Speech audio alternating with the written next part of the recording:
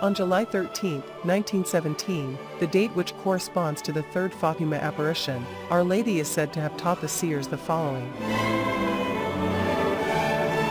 When you recite the rosary, after each mystery say, O my Jesus, forgive us our sins, save us from the fires of hell, lead all souls to heaven, especially those most in need of mercy.